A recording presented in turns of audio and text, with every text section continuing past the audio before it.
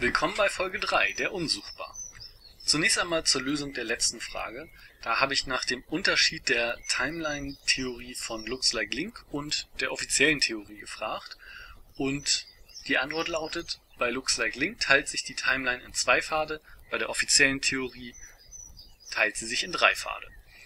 Ähm, die offizielle Theorie seht ihr jetzt hier nochmal als Bild beziehungsweise einen kleinen Ausschnitt davon. Da sieht man ganz links gibt es einen Pfad, wenn der Held besiegt wird.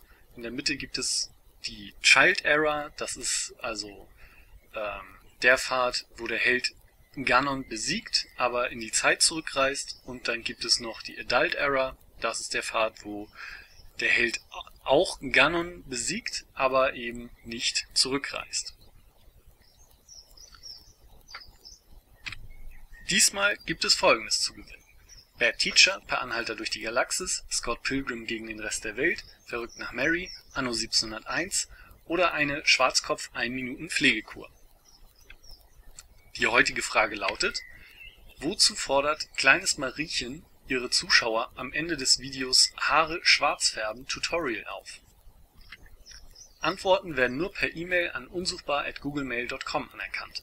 Teilnahmebedingungen und Links findet ihr in der Videobeschreibung. Good luck and have fun!